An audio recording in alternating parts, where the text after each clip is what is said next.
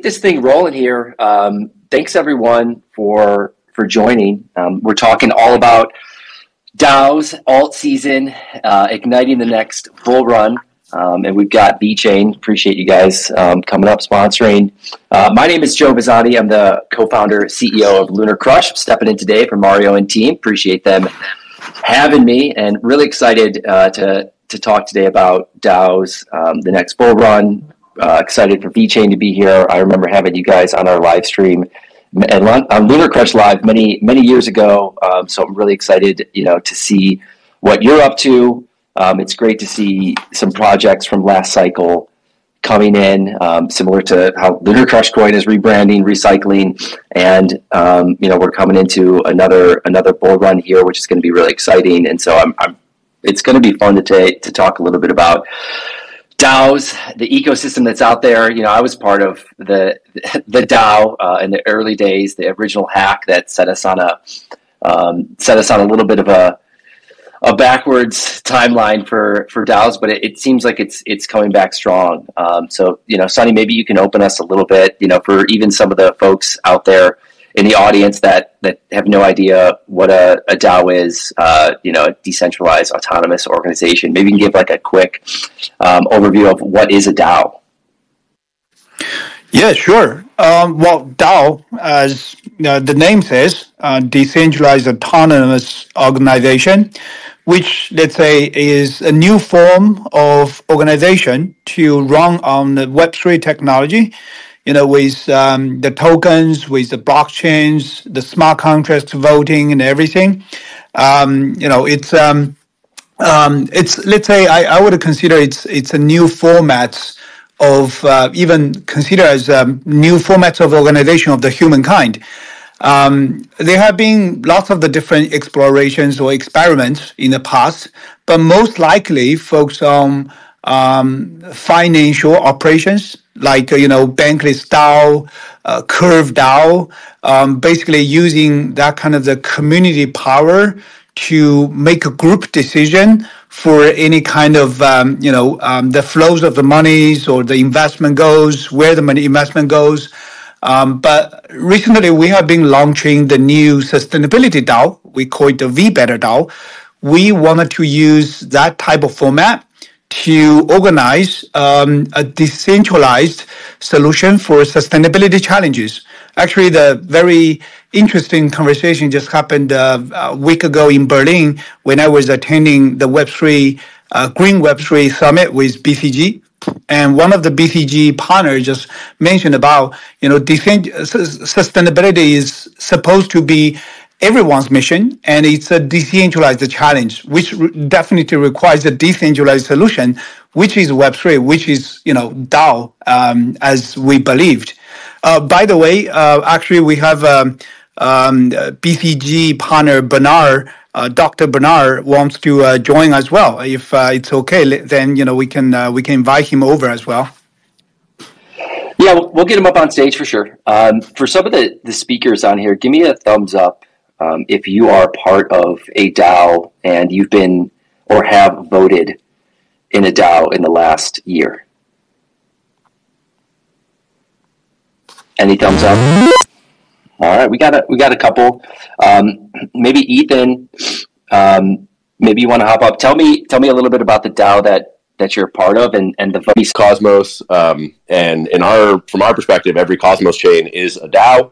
Uh, they all come with a built-in governance module that allows the um, the stakers on the chain to to govern the blockchain and, and, and, to vote on proposals. And so Cosmos is, is actually quite well known for having a very active governance participation. We see um, there is a, a, delegated governance system as well. So folks can, um, you know, they stake to validators and the validators can vote on their behalf, but then they can also override the votes of their validators if they don't, uh, if they don't like them. And so a lot of the Cosmos chains actually have pretty active pretty active uh, uh, governance. And uh, you know, I run a company called Informal Systems, and we're a validator on many of those chains. So we're voting on um, on a lot of the proposals, uh, really on the regular. Um, you know, probably almost every day or so there, there's a vote. But you know, some of the most interesting votes that have happened, say. In the last uh, in the last year or two, have been in and around the Cosmos Hub. So the Cosmos Hub, you know, was the first the first blockchain in, in Cosmos.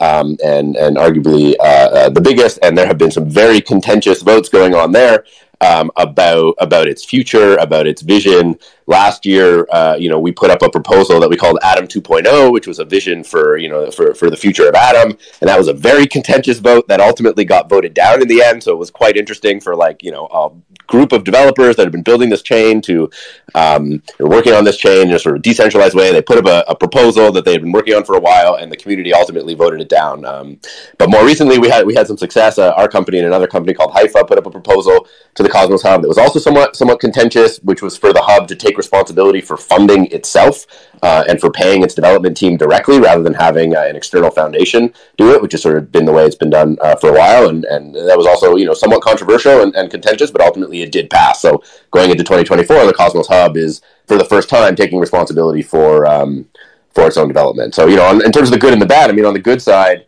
it's amazing to see like you know decentralized groups of people spread all over the world coordinating to govern these on-chain on-chain systems in you know a sort of transparent and verifiable way. I mean, it feels like there's nothing like that in the sort of broader political community. So you know, there's really really setting an example. But the downside is there's a lot of FUD and there's you know a lot of there's a lot of hate and a lot of immaturity in, in the way people approach things. And I think we could all we could all do a better job of you know communicating better, uh, treating each other excellently, you know, having healthier and and uh, improved conversations, using better language, and you know, really really um, trying to surface the, the the crux crux of the matter, and you know, not using ad hominems or, or, or, things like this, but to really um, really have good, strong governance culture. And so, you know, I've seen it degrade in, in a number of places, but I've also seen it work uh, in a really excellent way. And so, it's it's, uh, it's interesting to be part of both.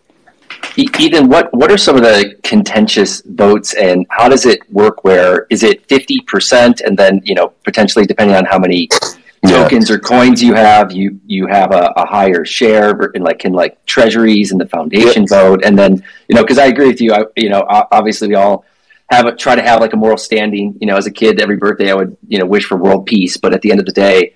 Yeah, you know, we're, uh, we're, we're, fighting. We're fighting for something. So, you know, how does it like when it gets down to that contentious moment? And yes, maybe you've got a ton of people that maybe own the token, in an yeah. early day and they're maybe down 50% they're all pissed and whatever else it may be yeah. how do you guys deal with that yeah, so I mean, um, all the most of the Cosmos chains use a similar governance mechanism, but they all have different distributions of their token. So, as far as we know, Atom has probably one of the most decentralized distributions of, of the token. It's been around for the longest. It's you know it's been liquid for, for a long time, so there's uh, quite sort of healthy distribution there. Uh, there are there are large validators who control something like, let's say, the largest might control 6% or 7% of the network or, or something like that. I'm not looking at the moment, but it'd be easy for anyone to check. But the, the individuals can always override the way their validators vote. Um, and so we haven't really seen like necessarily a single voter or a small number of voters really control the outcome because, at least on the Cosmos Hub, uh, because of the way uh, the token is so distributed. However, we the governance module does have a in Cosmos does have an interesting mechanism. So normally the way it works is, let's say just using the Cosmos Hub as an example, anyone can put up a proposal. For the proposal to become active, there needs to be a deposit. So people, so you know, to prevent spam, people have to put up um, some minimum amount of atom, and, and they get that back uh, afterwards. Um, and then uh, a quorum of the stake, so the amount of atoms that are staked to validators, has to actually show up to vote. I believe currently that quorum is uh, 40%. So 40% of the stake has to actually show up for the vote to be valid. And then of the votes that show up, it's it's a uh, you know simple majority, so 50% um, 50% can can pass it. Uh, but there's also a mechanism called no with veto, and if a third of the of the voters uh, uh, vote with a no with veto vote, then uh, then the vote is vetoed and, and canceled. And so the Atom 2.0 vote was actually vetoed. So it wasn't just, uh, I believe it was vetoed. Um, I can't remember right now. But it's an interesting mechanism that basically uh, you know, it, it's basically respecting the way the underlying consensus algorithm works, where if a third of the validators choose to collude, they can censor votes. And so we've basically like surfaced that into the into the voting mechanism. Since that power already exists, we sort of make it explicit and say, okay, you can veto, uh, and, and, it requires only a third to veto. So there haven't been many proposals that have been vetoed, but um, yeah. Yeah, I feel like every DAO is like recreating our, like its own constitution, right? Like you have to, you're creating some interesting rules and simple majorities, and you know, it's just it's it's refreshing to see the innovation on it and to see what's working and what's not. I want to go to Paul. You, you raised your hand too. you know, the, the title of this is, you know, how DAOs are igniting the next bull run. You know, you, you said you're a member of some of these DAOs. Are, what are some? What are the majority of these proposals that are coming through about? And are they going to have a lasting impact on, on, the chains that are there, or are we still at a point in the cycle where it's it's a lot of infrastructural grants that are coming through that people are proposing on, or you know, for, for like a layer one? So I'd love to hear, Paul, you raise your hand, or if someone else wants to jump in as well.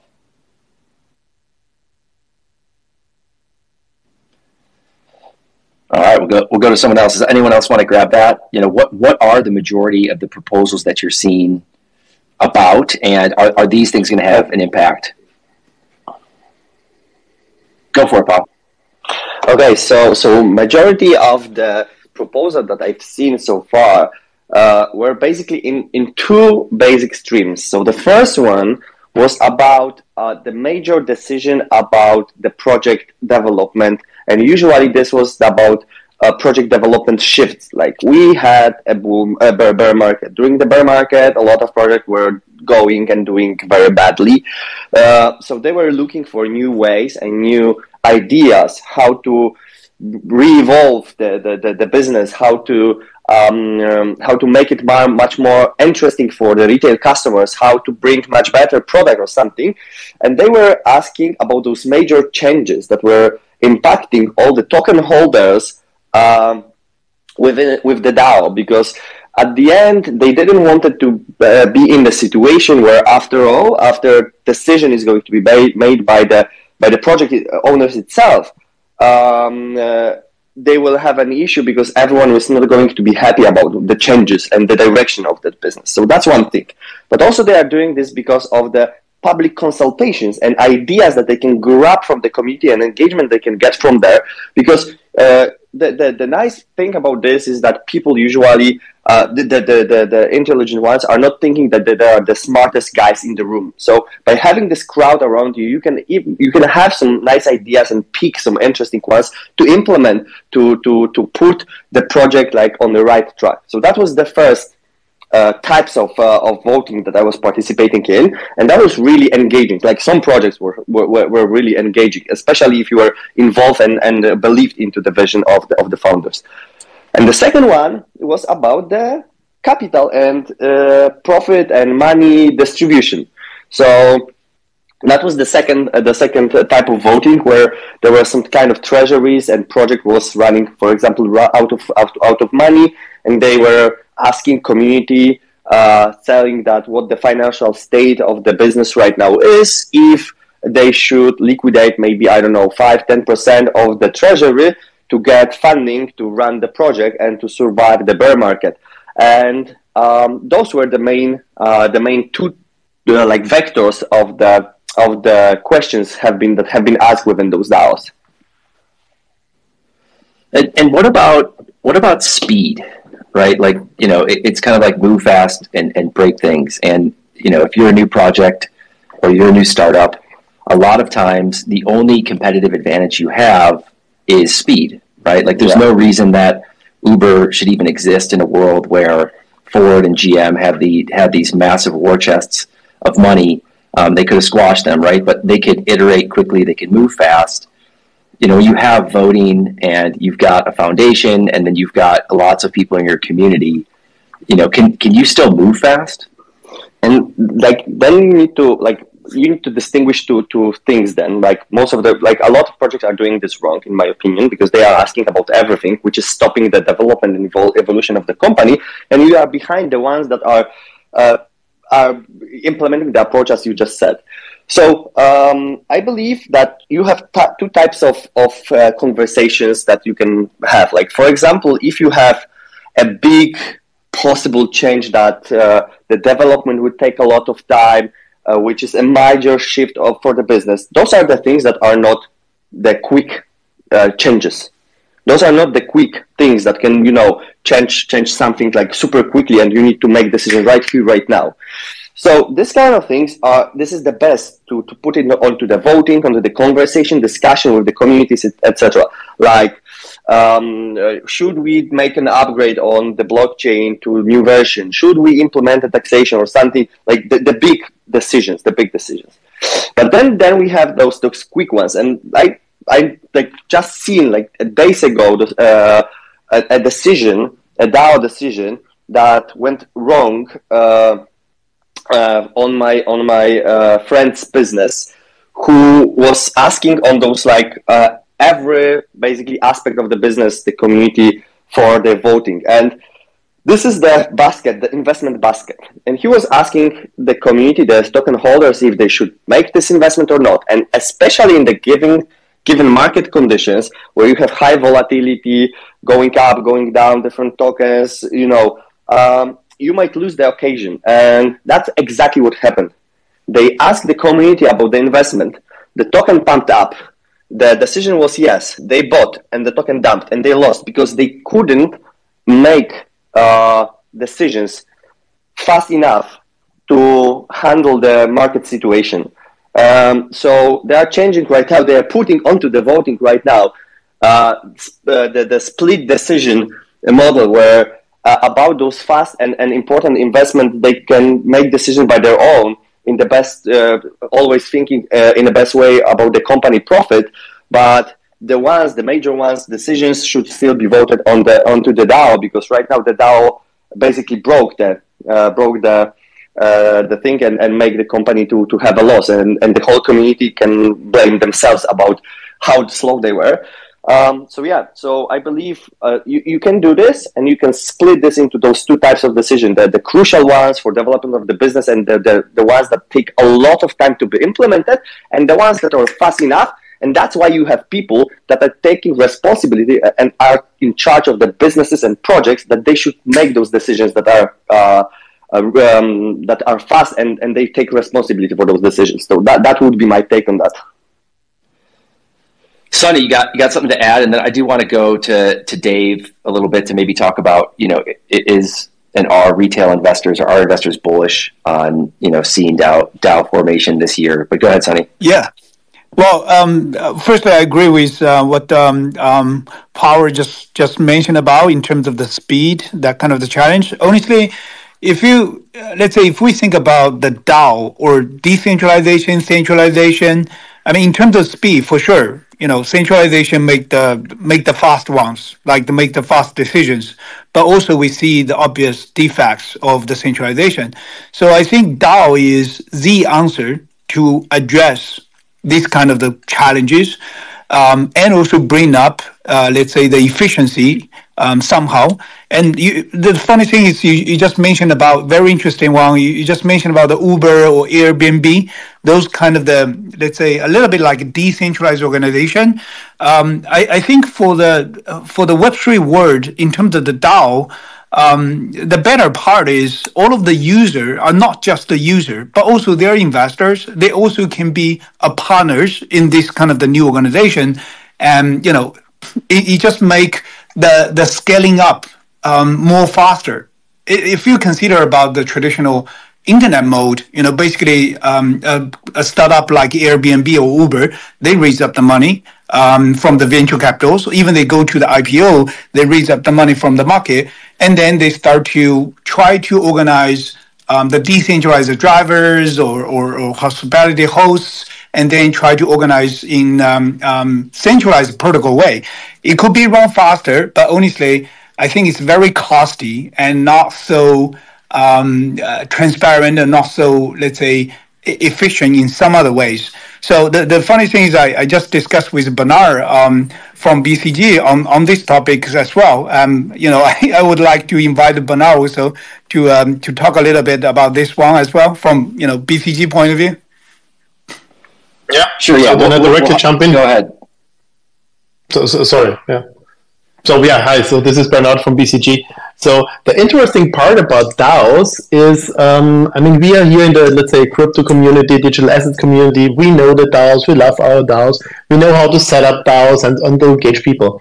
The interesting part is that a lot of other, let's say, industries and players are of course looking into to our direction now what we are setting up here and um, it's not only the, that we build up DAOs it's that we are able as you know, the digital asset space, we are able with our DAOs to um, engage the people of a community in a way such that they, stay tuned. Yeah, and they stay in the community, they engage with them, they, they talk about it, and so on.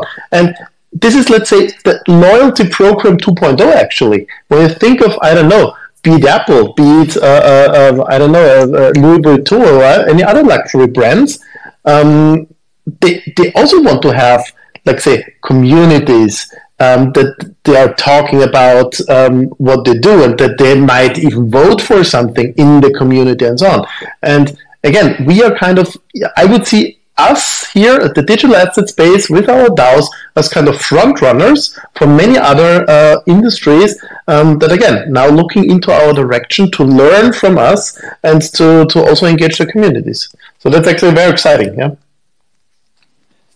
Martin, you got something, Dr. Martin? Thank you. Um, just, I'm very, very excited about the developments of DAO. Two years ago, I thought it would never work. But let us not forget one thing. Uh, we are all in this crypto blockchain community. We are used to undox people. All of the DAOs are about the governance of our own stuff at this point. What we are really looking towards is to make this a feature of the real world, right? And you do not have democracy without identity. You can have a secret ballot, but what you need is digital identity. The big missing piece of the puzzle is do we want to create a world where there can be anonymous, undoxed actors? Or do we want a world where everybody has a identity on the blockchain universally, the way we are doing it with, uh, I think VeChain has a project there too. By the way, happy to see you. I was very impressed by your new roadmap. Um, you see that at Luxo group. So the different blockchains are working on digital identity solutions. So are governments. The idea that the DAO, as wonderful as it is right now, that this form of DAO will enter the real world, right?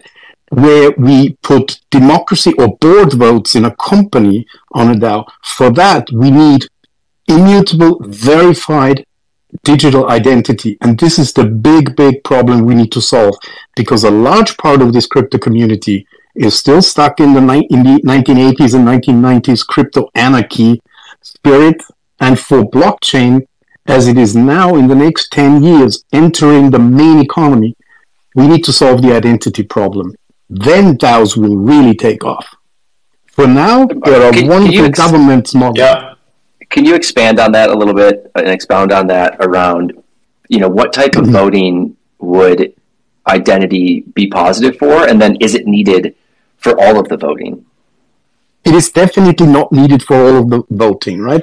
If I am in a community, if I have a vote on, like we do in, uh, for example, ICP, the Internet Computer, uh, there's lots and lots of votes with your neurons, with your stake neurons. In order to be there, you have to be geeky enough. Um, the people who don't understand what's being voted on, that by default they, they vote yes. In a democracy, a large number of the people's votes really don't count because they, they, they have a default vote. But there is a legal issue. To this day, DAOs are recognized in what, what was it? Wyoming. Yeah, we got legal representation of Wyoming in Wyoming. No other government, no other entity has recognized DAOs as a valid legal form. And that has to happen. And lawyers across the planet are working on how we integrate this. The European Union, for example, I'm part of a consulting team there, is trying to put DAOs into the European voting system. But for that, you have to have your national ID. We have to identify the person who's doing the voting. There is a big step from voting in a blockchain project to voting for a political party or for your next school principal, right? There are different types of votes. Some are perfectly okay if they're anonymous, but for DAO to go mainstream, enter the legal codex, become a feature of democracy, there has to be a solution to the digital identity problem. Does So anyone have a may counterpoint to that? And, uh, Um, not, a, just- not a counterpoint.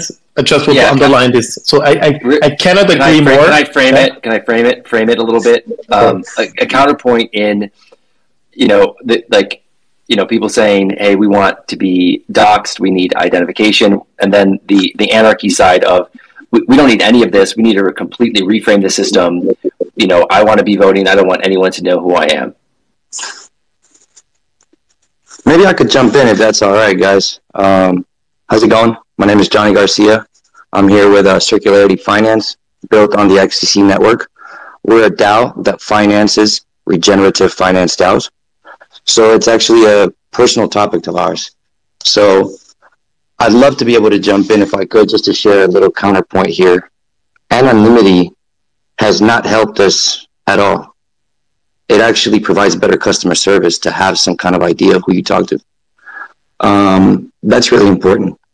Second, it allows us to be able to really build communities where we can identify what it is that we want to see in the sense of when you have a blockchain, the blockchain may have a specific focus, but maybe the community has a different focus, and it allows us all to kind of build off of it.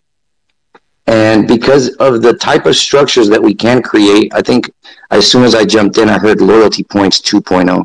I love that because that is actually one of the main reasons why our entity, our lab, actually, our labs entity is actually based out of Wyoming, trying to best understand how to build around the DAO's modules as you said, Martin, um, it was actually about the DAOs being LLCs and, and the first ones to actually have a chance to build some structure for stability. So what we've done is to take some of the models that everybody wants to apply, which is a gold-backed ecosystem. So we added that. We added governance. We added the opportunity to finance regenerative finance or regenerative business models, which are focused on sustainability. And that's why we partnered up with the Green Cross because under the UK chapter, we're actually working with MLETR based laws or model laws of uh, electronic transfers of records so that we can actually improve trade finance directly from a KYC starting point.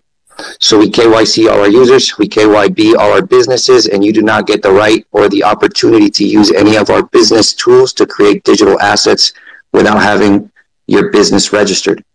And this allows us to create a new level of customer service that I do believe adds a great counterpoint to the way that things can go forward.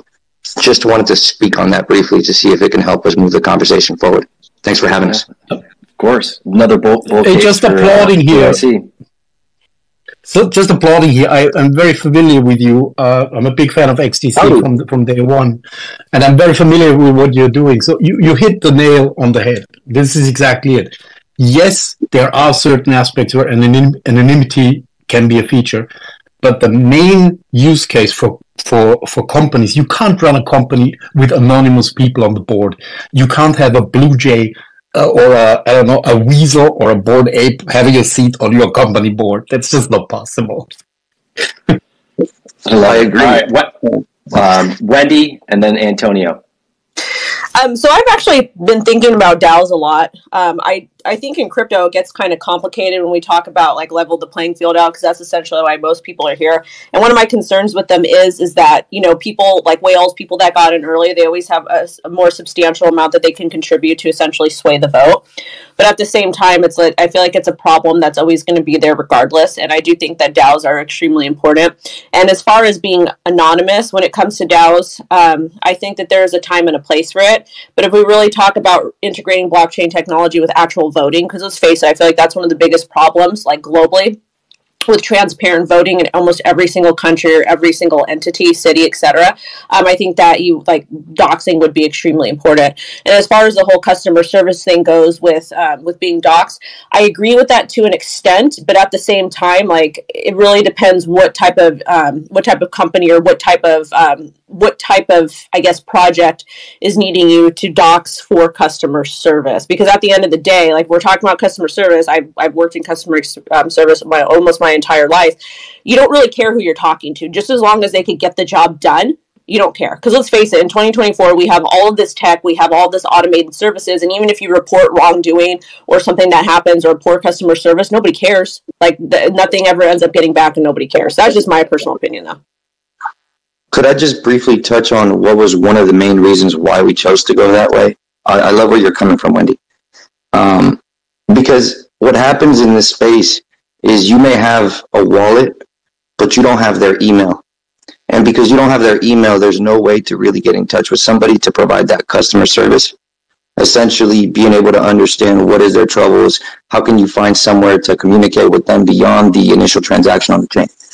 And so being able to create not only the ability to create transactions, but to be able to offer that customer layer or customer service layer is just as important as being able to add interoperable data layers. Because you're not just trying to do transactions, you're obviously trying to deliver to the best of the service possible. And I'm really happy to know that DAOs and doxing are actually getting the chance to really be discussed because if we could find a way forward where obviously everybody feels like at least voting upon, you know, where do we move money or how do we move money starts the discussion. And then from there, I think we're going to arrive at wonderful systems that I think everybody could be proud of. Antonio, what, you got some thoughts on this? Yes, I mean, hi everyone. First of all, um, as a CTO here, I'm gonna I'm gonna go a little bit technical. I think we are we are talking about three different things, really.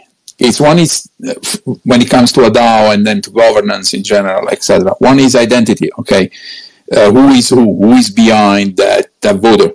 Okay, uh, identifying the person, which in some cases may be necessary, in others no.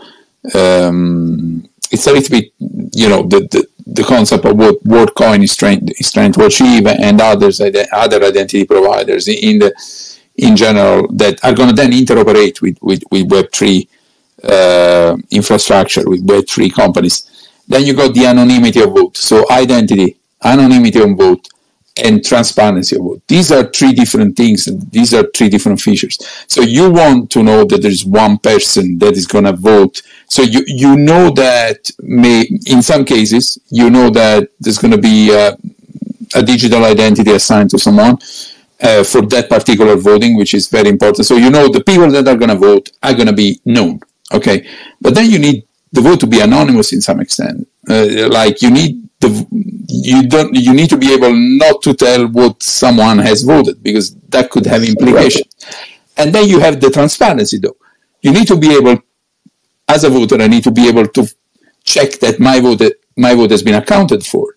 And you as as, as in the DAO itself needs to be able to check that all the votes have been, you know, casted by by by the let's say KYC people by the identified people. So we're talking about three technical, three different things here: uh, identity, anonymity, and transparency, and they can all be achieved.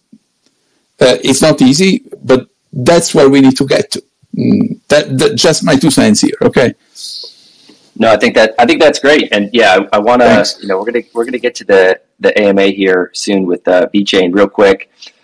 You know, Dave, if you're there, um, you know, all this sounds like a beautiful vision, right? You know, we talked about even all Uber drivers voting together in a in a decentralized way, you know, but from a from a standpoint of, of the market, you know, are are DAOs bullish for the market? Do investors care?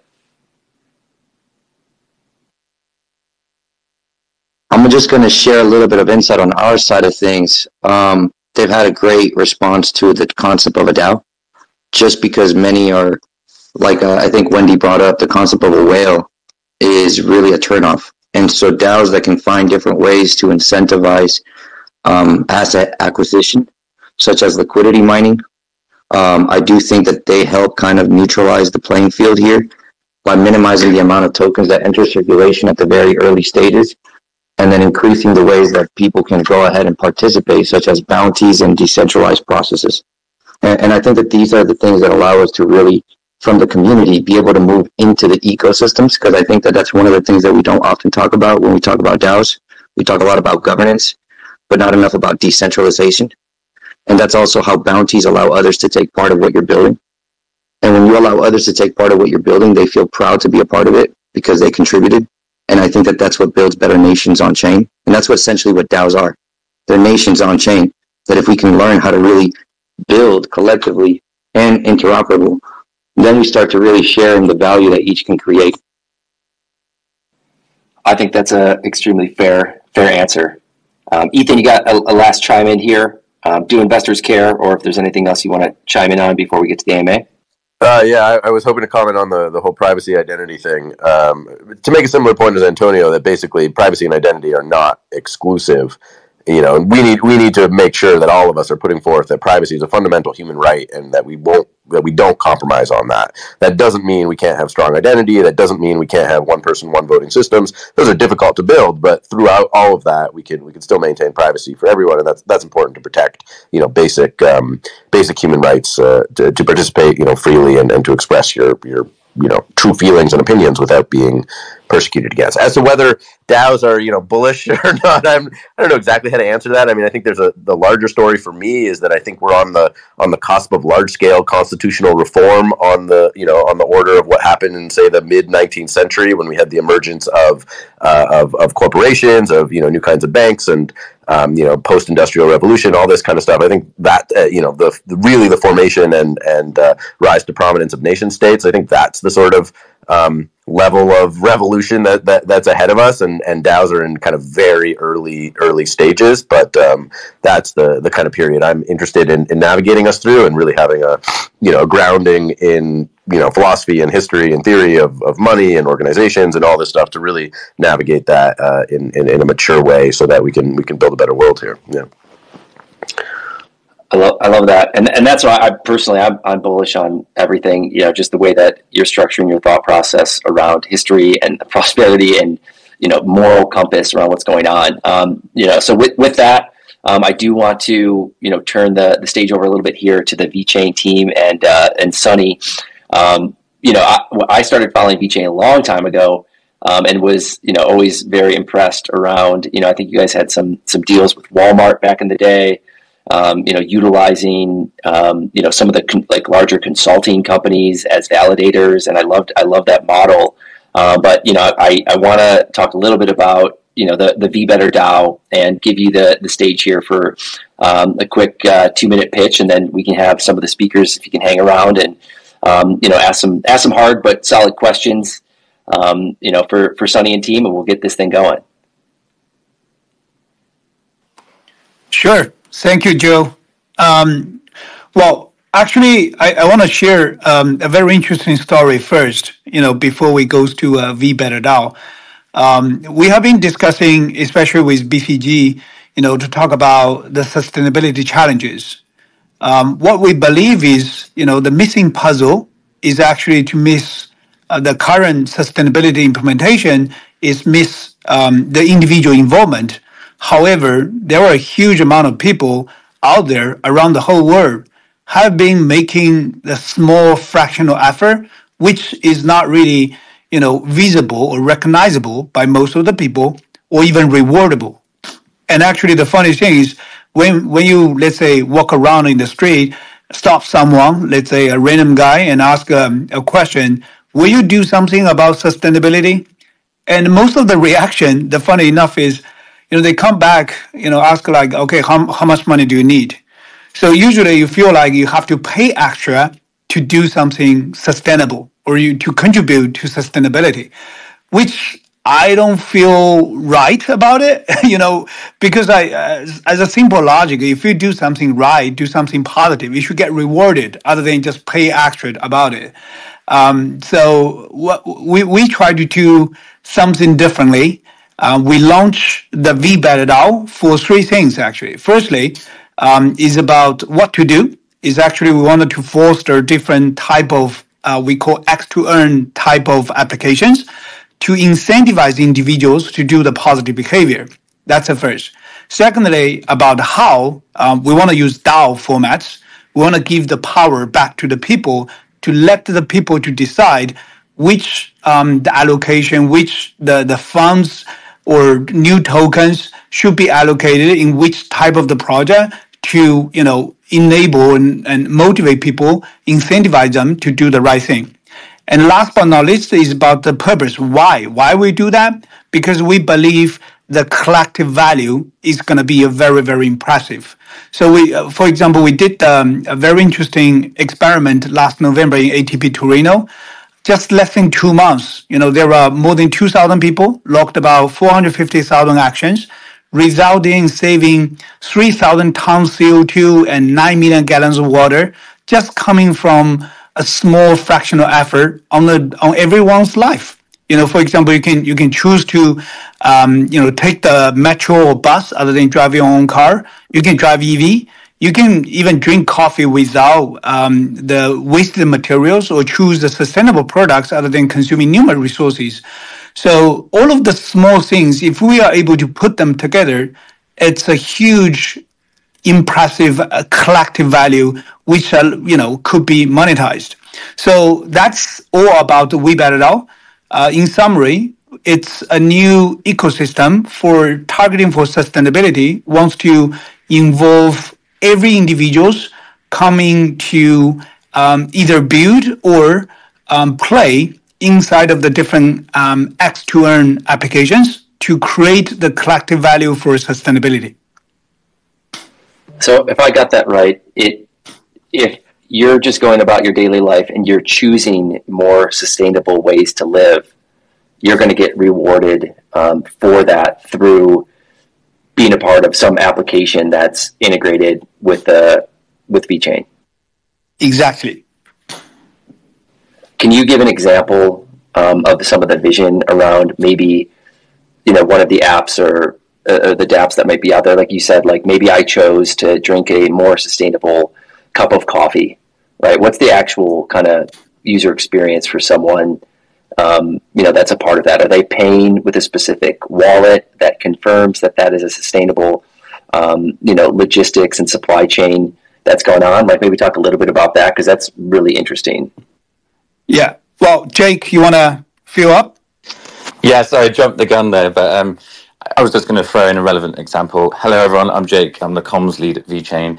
Uh, yeah, on the back of that, there's a great example that we um, developed a few years ago, which is around electric vehicles, right? And you you drive an electric vehicle, you do X amount of distance in your car, and uh, that amount of carbon offset can be calculated against you know a normal kind of gasoline powered vehicle, and then essentially earn a credit for the amount of carbon that you offset, which is attached to the actual value of a ton of carbon emissions. So in that sense, you're kind of using blockchain to kind of tie these um, externalities of resource use to uh, a token. So you're, you know, using a Web3 approach to essentially give value to something that's not often kind of factored into, you know, the consumption process, which in that case was your the actual financial cost of you offsetting that carbon. So in that ecosystem, I think uh, it was something like fifty dollars a year, essentially equivalent if you drive around fifteen thousand miles or something. But which doesn't sound a lot individually, but you know when you scale that up and you're talking tens of millions of EV drivers, you, know it becomes a, a massive amount of value. You know, ten million cars, fifty dollars each. You know, where you're looking at like half a billion in this collective value. So when you know when we talk about collective value, that's what we kind of mean. It's like tying together these smaller actions through blockchain to create this large scale impact. And it's pretty clear to me where the you know, if someone earns some token, they earn some points, rewards, however you guys are, are structuring that, um, you know, maybe they hold that and, and stake that somewhere, or maybe they, they decide to sell that. Um, where, where does the, the bid come from, right? Where does the input here come from to, you know, correctly fund, um, you know, the, the actual rewards and the, almost like the gamification of the sustainability choices? Yeah, it's a good question. So obviously at that point, I mean, just to, take it back one step, we, we launched our white paper Web3 for Better, and we talked about this concept of blockchain biospheres, and that's like this sum total of what we dubbed ecosystems, of which what I just mentioned was this kind of ecosystem, right? And within that model, you have obviously uh, you know various kind of partners as well. So actually, in that specific example, you had vendors of all kinds, like uh, insurance providers, you know, food and beverage providers. There was even a healthcare as a, one of the oldest hospitals in Asia involved. You know, so you, you essentially build this ecosystem of enterprise and commercial clients that can you know give value then to the token as well. So it's this mutual kind of um, ecosystem in essence where they're supporting sustainability causes, you know, by proxy by allowing you to spend these tokens in these locations. And I mean that essentially, yeah, that's that gives value to the token as well, right? Because you've priced in this externality, but then you could go on and spend that token. So it gives you that incentive mechanism to actually do the action, earn the reward, and then for a byproduct of something you're already doing, which is the key thing of why Web3 and sustainability work so well, you generate value that you can spend. And Yeah, and also go ahead, Sunny. yeah, and also in t- on top of what Jake just mentioned, um, high level, I want to share something. You know, uh, based on some of the co-worker with co-working results with uh, with the BCG together. Actually, there's a research to show by 2030, um, the total uh, GDP of sustainability across the whole world is going to reach 26 trillion dollars. And actually, the, the that big money is coming from majorly coming from the reproduction process for most of the products we have been using on every day. Um, uh, whatever the cars you're driving, the the the garment you're wearing, or uh, anything you use. Um, not only about the material per se, for sure, mat- recycled material is uh, a big part, but also in terms of the process, how to manufacture that, how to uh, make a transportation uh, in terms of logistic, in terms of supply chain. So there are many um, areas which could be lead to a sustainable products. So in terms of the entire market value, let's put it this way, it's it's I would say it's it's huge, it's massive, and um, uh, you know for what we try to do is we're gonna we're gonna have like two um, pillars of the work majorly. The first one is we wanted to build up and foster not only us but actually enable more and more builders to build the different type of earn applications to cover uh, different uh, perspective of the life. Um, what uh, Jake just mentioned is about the driving to earn. Actually, we also have a couple of new candidates um, in the in the VeBetter as, as a pilot case as well. One is we call it a Mugshot. So basically, you can from the user experience, you every time you drink coffee, um, if you don't use any kind of recycled material, you can take a take a picture and upload to um, a server, and then the, the the AI behind that will recognize if it's really um, a co- coffee mug with a coffee, not just um, a Coca-Cola drinks or any kind of tea even, um, and then based on that, give you rewards um, in terms of the token. So the different type of actual application will, let's say, enable and motivate more individuals living a sustainable life. On the other side, um, the the the other important job actually we're working with BCG together is try to let's say get um, the utility of the token and even the value proposition about the token to engage the Web two companies, the traditional companies, which is actually VeChain's strength, to bring them on board into the VeBetter DAO ecosystem let their products, their services, or even simply say the value injected into the ecosystem. Uh, simply to say, I wanted to make a you know very simple example. Um, any company can provide the products, the recycled products or sustainable products into the ecosystem as one of the marketing cost. So instead of sending some group of people in the middle of the desert plant some trees to say like we're doing the sustainability, the future enterprise could, you know, make a very specific, like I, I invest a million dollars, um, you know, with certain amount of products to motivate or incentivize uh, 200,000 people to do XYZ as the new, um, you know, uh, factual reports in the ESG or in the, um, you know, SDG, that kind of the budget allocations. So eventually we wanted to have build up a, a full cycle of uh, ecosystem, not only with individuals, but also with enterprises. The difference we want to make is we, we're going to go through the Web3 way, which means the enterprise or the platform and the user, we're in an equal position. It's not just like, oh, you're the consumer or the, you're the retail investor or you're the, you know, uh, normal uh, users for most of the for most of the products, but like we're gonna work together. You do your part, I do my part, and then we share the value together. No, that makes a lot of sense, and it seems like even a Web two corporation would really want to align themselves with these positive externalities of sustainable choices. You know, especially from some of the consultancies, which is why I suspect Bernhardt and BCG are interested in maybe communicating this to like a Fortune 500 C-suite. Um, you know, Bernhardt, go, go ahead. So I, I just want to add something. So um, everyone knows now that we have a climate problem, a sustainability problem. Yeah, And everyone also wants to sh- do something and want to share something. But if you go around and ask them, okay, what do you do today to, to make the planet a better a better place in the future? There is no angle, right? I mean, what, what should I do now today?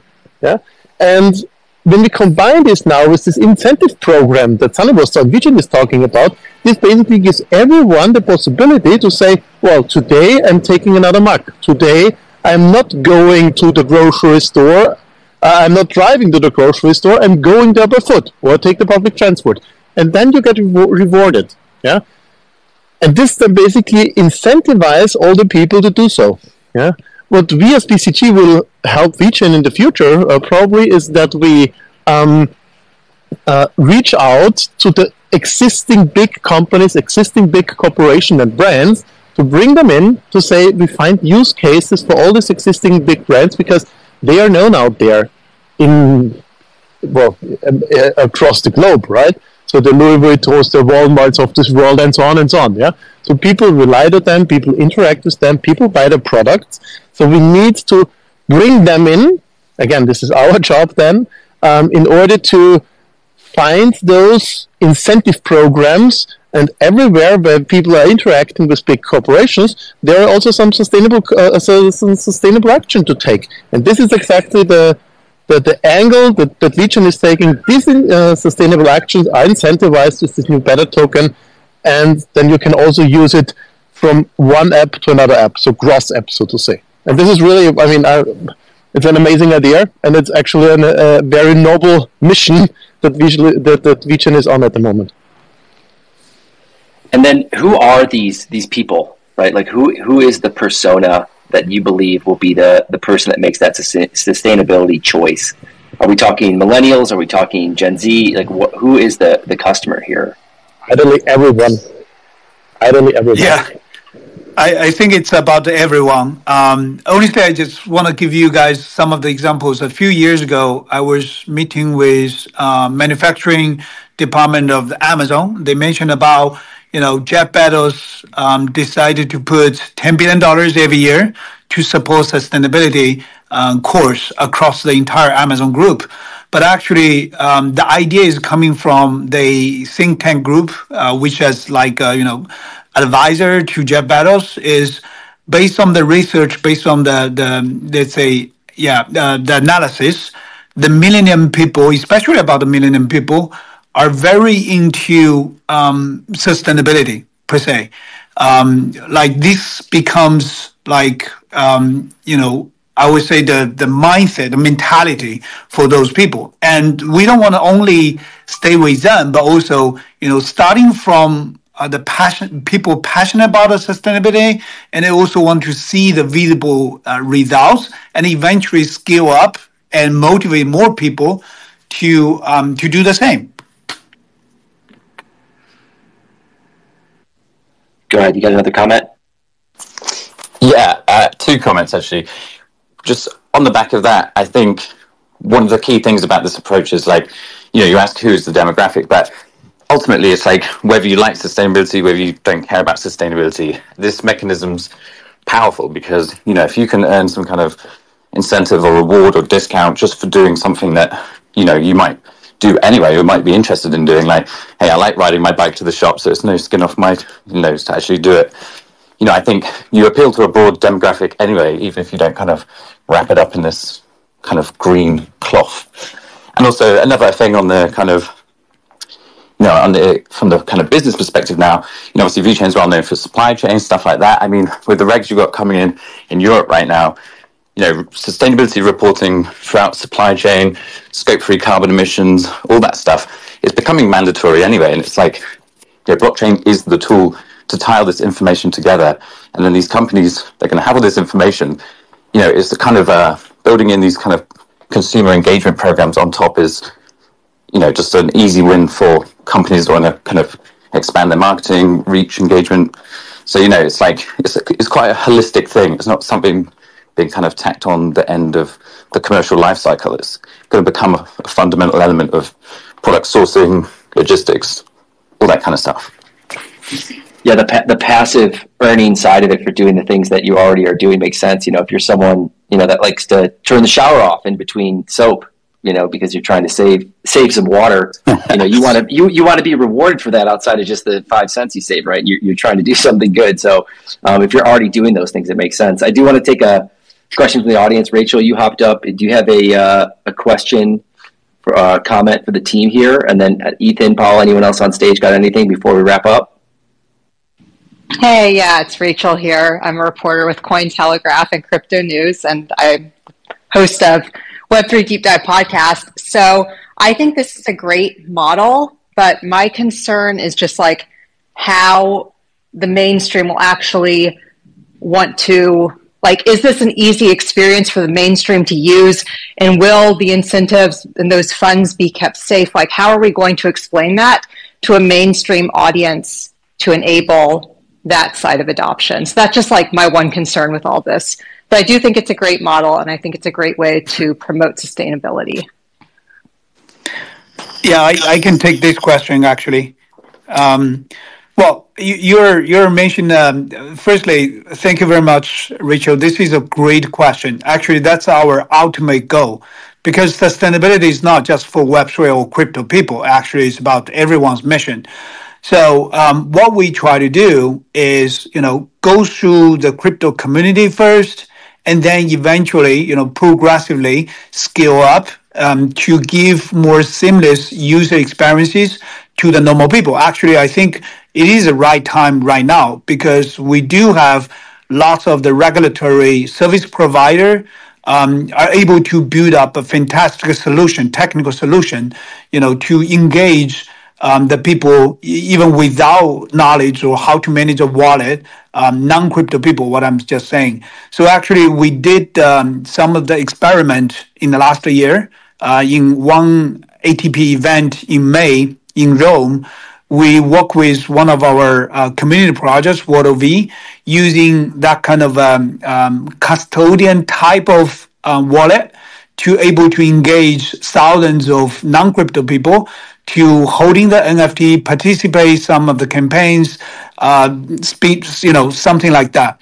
So also there are many regulatory uh, service provider, what I just mentioned, in terms of, for example, like a Fireblocks as a custodian service or uh, different fiat ramp um, is able to provide that kind of infrastructure uh, to engage different um, Web 2 companies come to join very easily. So basically, um, from the user experience, let's say if you're a non-crypto user, you do something, you do have the rewards. Um, even it's not the token in your wallet, but it's let's say in the custodian wallet. But also there is a fiat ramp or a different fiat, um, let's say service provide payment service allow you to exchange the different products or participate uh, different um, programs, then it's it's like a, a, universal loyalty programs as what Bernard just introduced in the beginning, but not limited to one um, airline company or one um, retail company, something like that. Yeah, and Rich, to give you an example of what that looks like, that we've this we've got some technical integrations coming. It's super cool. It's like you know essentially social logins, right? So you you log into your app, username, password, boom, done, and then your wallet's attached in the back end. You've got like cloud recovery services attached to it. So you interact with these apps just like you interact through any app, and you receive these tokens that to you are just points, however they're kind of branded. You know, they look and feel the same as many kind of loyalty schemes you already see, but they happen to be crypto assets. So you know, in that through that vector, you can actually really seamlessly integrate a concept everyone's already very familiar with, but they actually have monetary value and they're on blockchain instead. Antonio, got something to add? Yeah, if I may, just to, just to close on this one. I mean, the, it's really a bridge, and uh, Jake said it all, to be honest, but it's really the bridge between Web two and Web three uh, in terms of user experience. And uh, you know, things like uh, Sunny mentioned, Fireblocks, so custodial services, uh, social media login, as, as as Jake said, and hence this is done by account abstractions on wallets and, on, and smart contracts uh, you're basically making the user experience seamless, seamless, and and that, that that's where you want to go. You wanna you wanna kind of uh, get the Web two easiness of of of uh, of, of of UI UX within the Web three. Uh, and I think we're very close. We're very close. Um, the entire the entire world of Web three is getting there slowly, but you know it's it's a priority now. It was identified, you know, a few months ago. I think probably almost a year ago by even Vitalik saying, you know, it's we need to get to the billions of users as in the Web3 space to, to, to really to really make a difference and and uh, the user experience of the wallets and of the apps and making sure that everything looks like a web 2 experience like a mobile experience that we know that's that's where the answer lies really I, think you're right, and I think we've crossed the chasm from the. It's it's not a matter of if anymore. It's a, it's a matter of when. Um, and so, Absolutely. you know, to wrap to wrap up here, you know, everyone in the audience, you know, make sure you give all these speakers a follow. We've pinned the the VeChain uh, tweet up there. Give that thing a like. Give it a retweet. Um, give that account a, a, big follow here. And then you guys, I, I'd love to just to wrap up. You know, it's a year from now. Um, what what's the headline that you want to see? You know, give Rachel like in Cointelegraph or you know maybe it's a Forbes. What's the headline that you want to see um, a year from now with regards to you know the with the VeChain or DAOs in general? Um, I would say like VeBetter DAO is a sustainability platform um, for everyone. Any other takers? What's the headline? What do you want to see? The announcement? Um, wh- what's the world look like a year from now? So, um, colon breaking down barriers. Now, I think you know it's an interesting innovation of the uh, you know of the DAO model, right? I don't think we touched exactly on the DAO components of VeBetter DAO, but you know it's essentially a DAO governed DApp ecosystem. So I think you know having some social commentary on the kind of take on the DAO model and how it's kind of unleashed this DApp revolution. Obviously, that would be that would be the line we'd want to see somewhere. I would love to ah. see states issuing selective disclosure, zero knowledge identities for their citizens. I think that would be a major step forward. Definitely.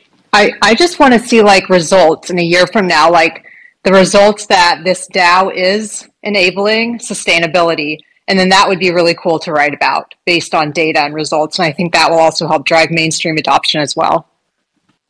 Absolutely. Well, last one. Yeah, so what I would love to see is that uh, in terms of DAO, the headline that uh, those elections, 2024 or 8, uh, 20, uh, 200 million Americans voted for president using the DAO system on the blockchain. So that's what I would love to see. That is a big a big dream, my friend. um, awesome. Well, thank thank you all for being here. I could tell we have a bunch of very smart, passionate people that care about this industry and moving everything forward. Um, I appreciate you guys. Everyone, go check out uh, VeChain at VeChain Official. Mario, appreciate everyone for hosting the roundtable crew behind the scenes. And uh, until next time, everyone, thank you. Alt season. Next bull run is here. Cheers, all. Let's go.